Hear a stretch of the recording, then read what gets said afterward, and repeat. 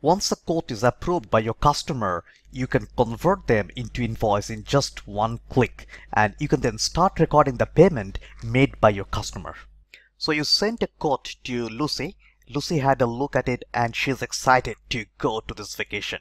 So what Lucy had done, she has sent her consent for this quote. So what you could do out here that you could capture the details like the quote has been accepted by Lucy. And since the quote has been accepted, now you can convert this quote into an awesome looking invoice. So you can go to convert and you can say, okay, I want to convert this quote into an invoice. So the moment you do that, this will instantly get converted into this invoice.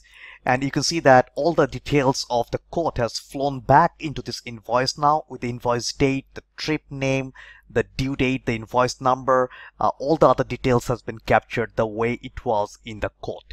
Now, you, the, just like the quote, you can also go ahead and export into PDF just to see how does the invoice look like. If you want to send the invoice to your customer via email, you can also go ahead and do this part of it. Now, against this invoice, once you start recording the payment, you could also maintain the details out here. Like for example, on against this invoice, if you have received some money, let's say on uh, 12th of this month, you have received some money out here. So I could update the details out here.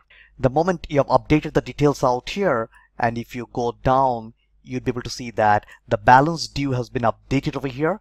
And also how much is the total payment made and the payment status has been updated automatically.